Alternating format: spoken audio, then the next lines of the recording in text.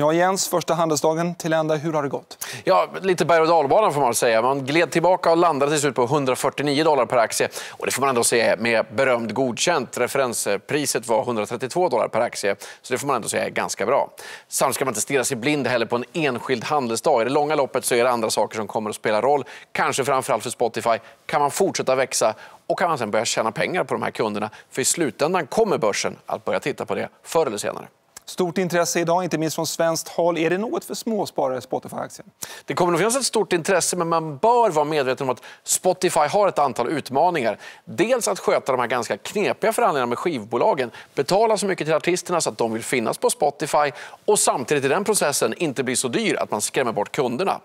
Och sen så är alltid techbolag jagade av att det ska komma någon annan med en bättre produkt. Så om Spotify är musikens svar på Google, en jätte som kommer att tjäna miljarder, eller ett nytt Napster, en frånåkt produkt som ingen vill ha, ja, det får vi väl se. Juryn överlägger fortfarande.